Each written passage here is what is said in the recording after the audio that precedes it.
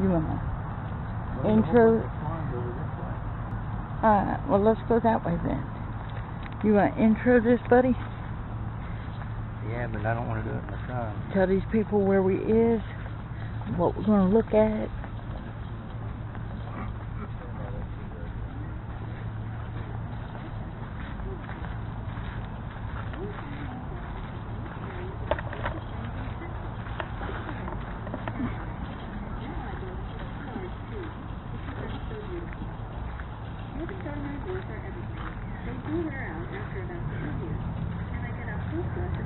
Swans in the They can see them.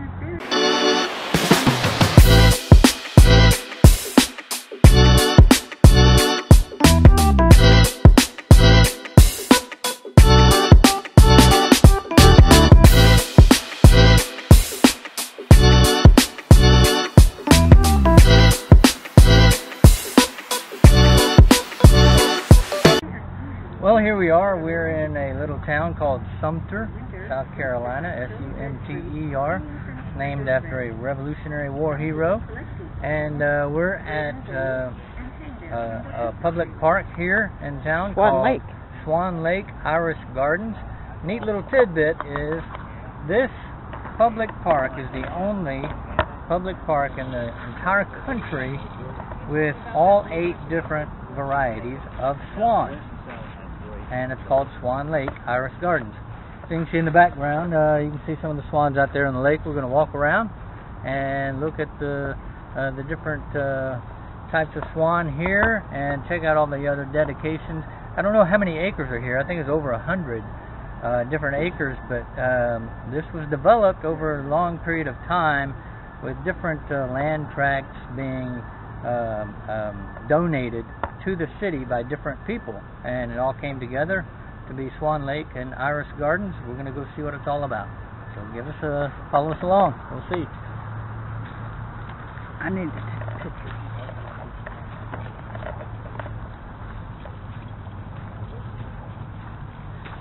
Now, throughout this uh, park, they have um, these benches. They have these benches that are dedicated by people, and there are a whole bunch of them all the way around. So this is a really neat park. You can see benches, benches everywhere. Another neat thing is they've got these cute little talking trees.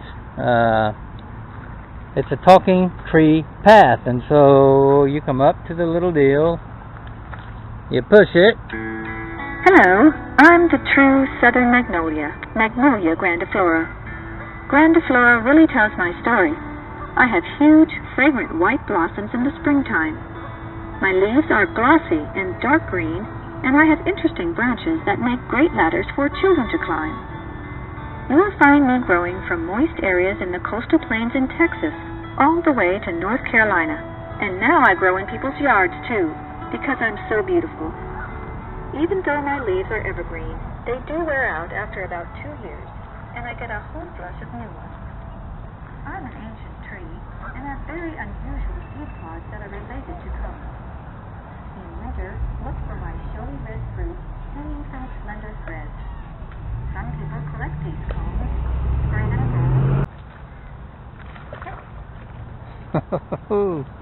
Get out of my AO.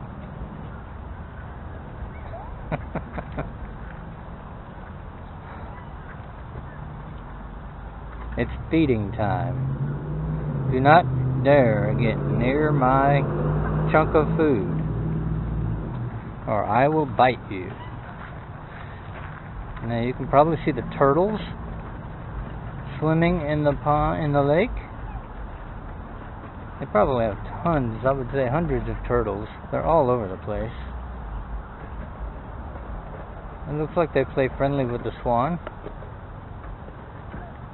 which is a good thing.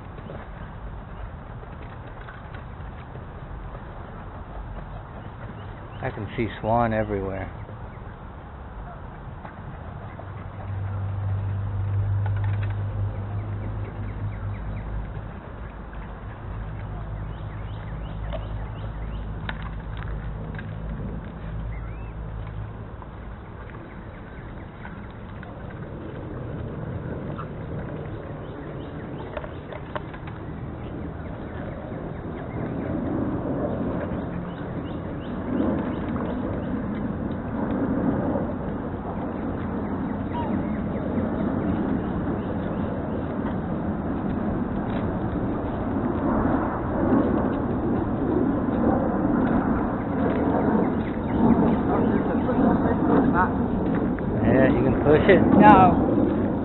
You don't want to listen? No, I don't want to hear what they have to say about this tree. Because it talks as though the tree is talking, and that's a little sketchy.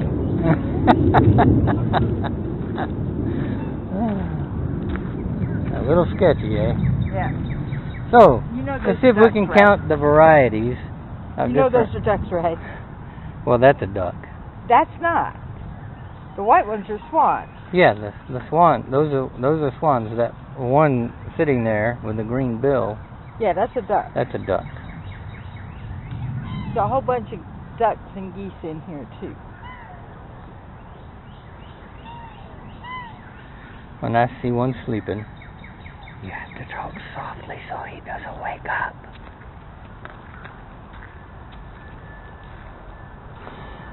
But there's the black swans Yep, and the white swans.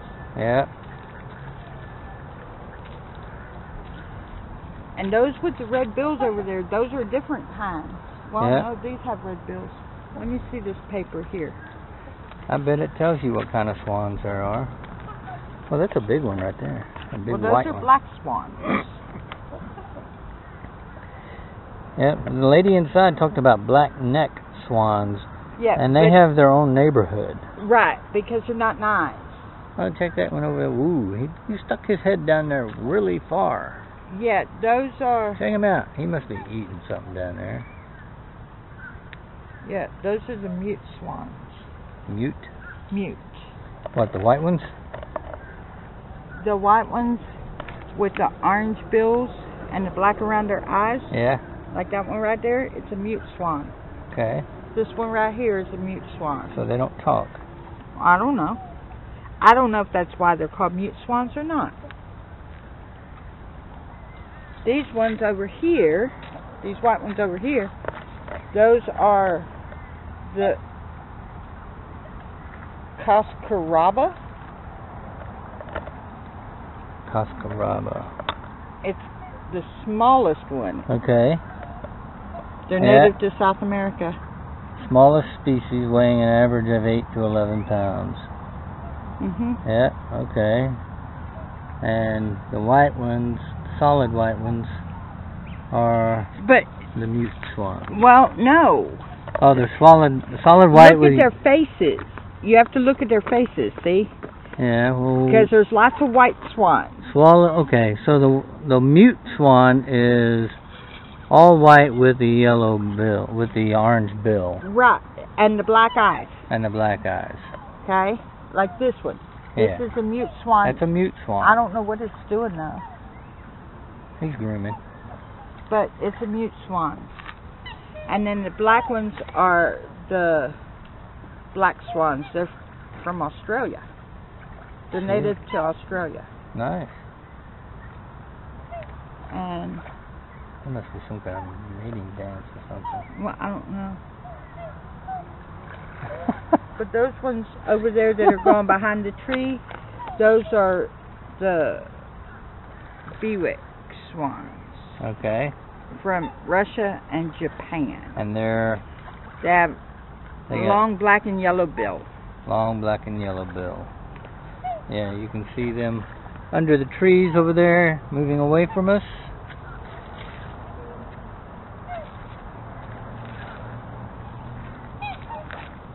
Yeah, the black necked swans, they're not nice, so they have to go live in their own neighborhood.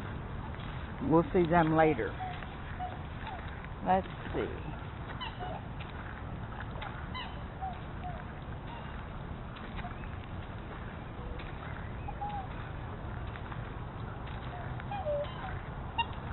All right. What about the gray one with the black and the black neck and the black and white neck? See him right over there? Yeah. You see him over there on the bank right there? Right there. Right there. He's scratching himself. Yeah, that's a black swan. They're, Those are all black swans. they're all gray. Oh, I don't care. They're black swans. They're black swans, okay. All black swans. What? All right.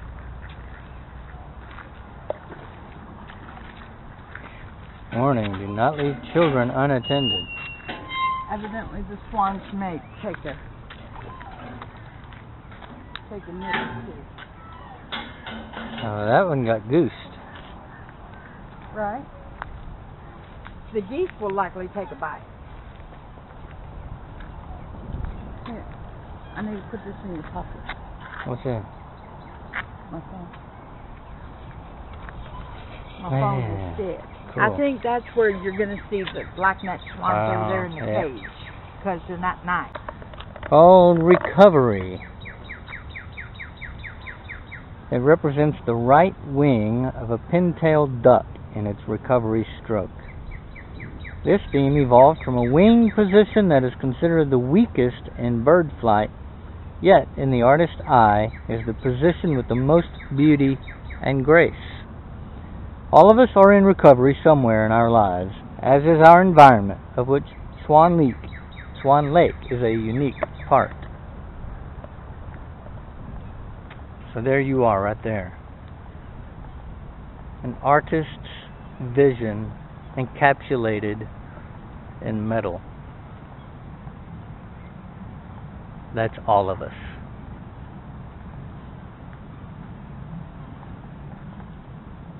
What's up, buddy? What's up, buddy? That is a mute swan. Yeah, Yeah. they don't talk. You could talk to them all day long, they won't respond. I mean, the rest of them probably aren't going to respond either. In that case, they're all mute. But the others do make a noise. Oh, look at the irises. There's still a couple blooming over here. Yeah. Yeah. Now, what I find interesting are these trees.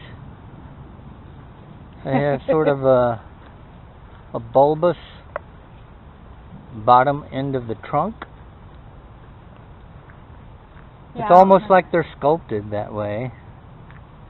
But you can tell by They're the different different shapes, even though they all have the same basic character. The main trunks have little different shapes there at the bottom, so I think that's evidence that they grow that way, but they look well sculpted. Now, earlier today, they were talking about an alligator being down here. Yeah. And we might get to see the alligator. Well, there's plenty of turtles down there. Well, some folks was talking about an alligator being down here earlier. Yeah. Did he eat a bird? From what I understand, it just looked at him.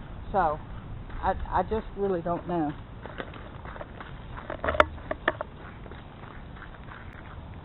No telling what you'll see here near the water. All sorts of waterfowl They have could uh, they have come along. cranes caged in or fenced in.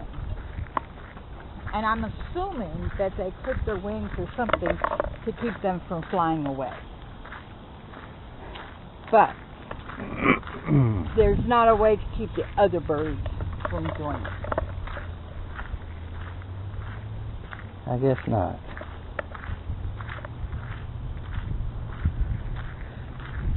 This is a happy little bird sanctuary.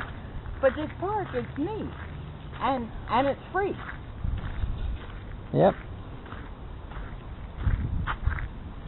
It's a beautiful little a habitat for waterfowl. Oh, now look at this beautiful specimen. Right out there, with a big trunk on it. You didn't tell them what specimen to look at. That tree It's right the there. tree. Yeah, a big old trunk on it. Huge. That's gorgeous. We came from right back there.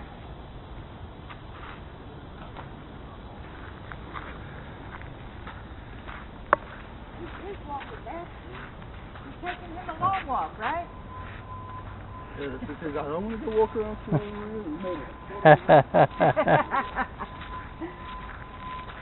minute. It feels like 10,000 degrees today out playing.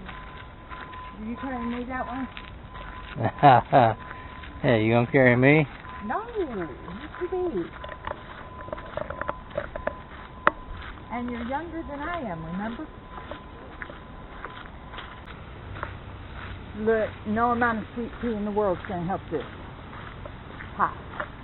See, there's another entrance to this Yep. garden off of uh, Garden Street. Aha. It's on the map. All right. And I hear a waterfall. There's this little piece Oh, of look. Now, see, that looks water like a place right over here. gators.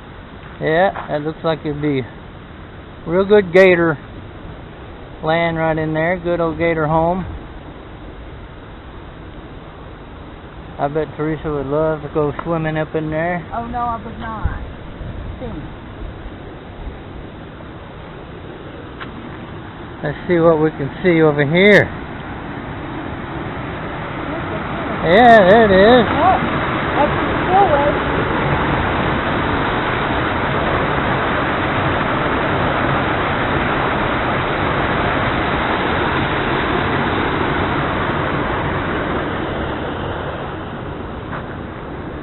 And it feeds right into there.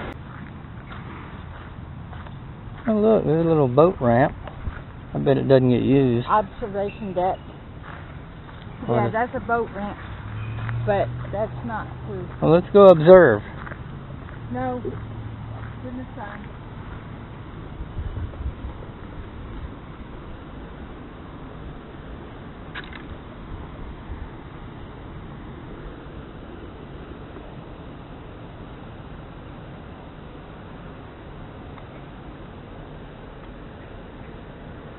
just love those trees. I don't know what they are, but they've got character.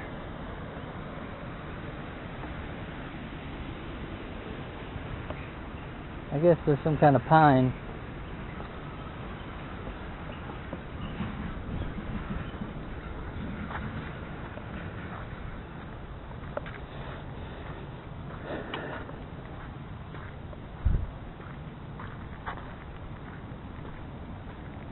Have to brush up on my knowledge of trees.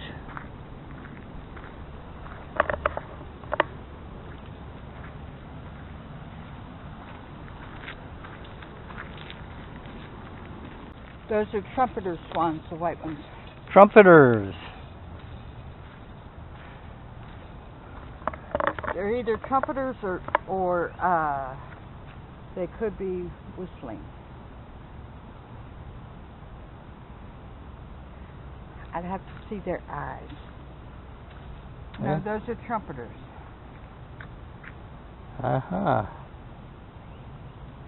The trumpeters, you can tell the difference. The whistlers have a yellow mark right below their eye on their bill, but these are solid black. Okay, well there's that one right there. He's got yellow on his bill. If he's got yet, right, that's um.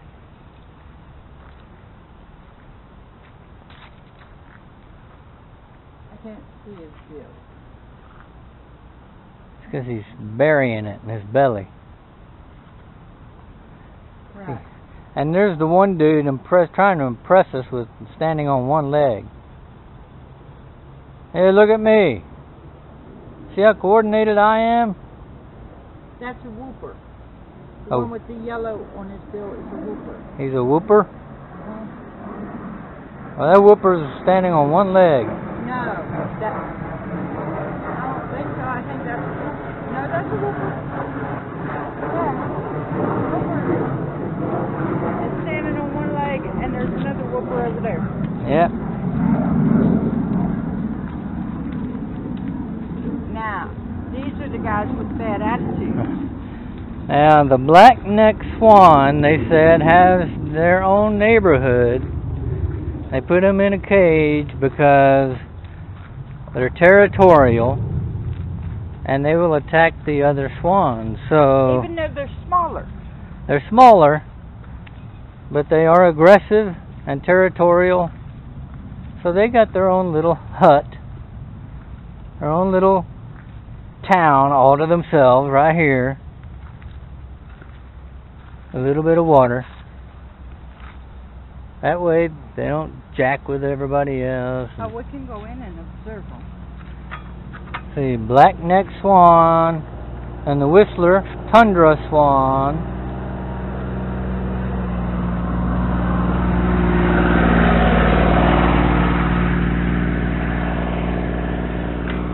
As long as we shut the gate, you gotta shut that gate so they don't get loose.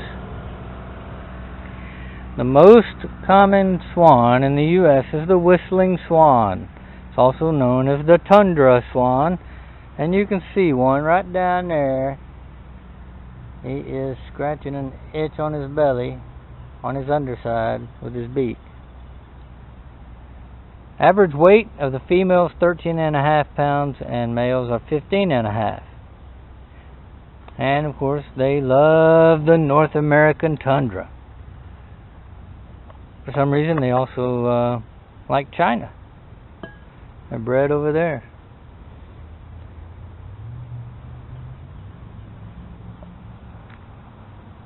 And of course, the black-necked swan migrates to the northern hemisphere after breeding in the southern third of South America and the Falkland Islands. Loves the Falkland Island area. Those down there usually don't migrate. The female swan lays from four to eight cream colored eggs and incubates for 36 days. Average weight is 9 to 12 pounds. There you have it, folks. Geogra- National Geographic can't beat this. Right? Well, I guess they can, but not for free. to me, they don't let me see them in person.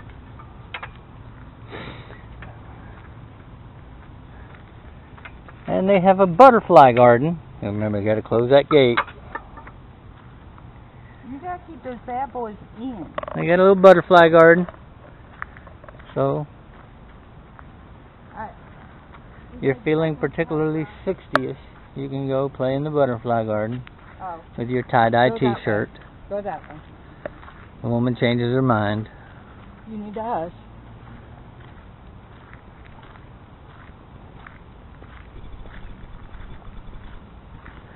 And we're coming upon A bridge. another bridge. This is a covered bridge.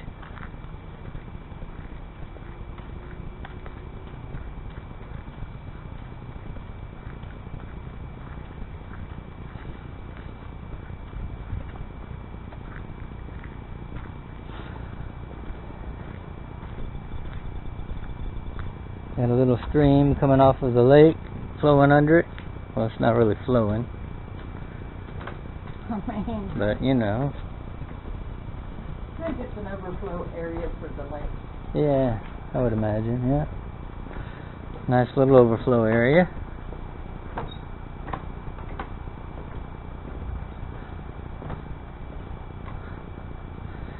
Camellia Island was created in 1989 as part of the repairs necessitated by Hurricane Hugo.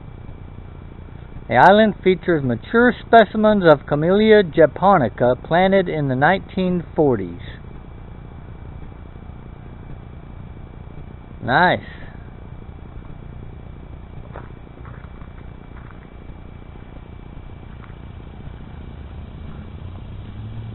Beautiful area here. Beautiful area. You want to go that way? I don't know where that goes. It's not the yellow brick road, I can tell you that.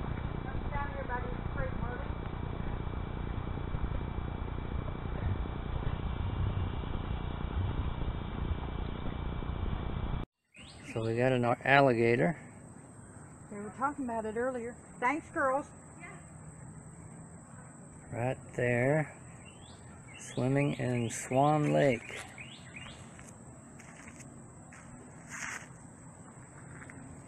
He's just a baby. He's maybe two years old. Yeah, he's not a big one. His snout's short, which means his body's short, Yeah, which means he's a baby. but there he is. There's an alligator. All right, folks, remember to like us, share us, and don't forget to hit that subscribe button. See you later.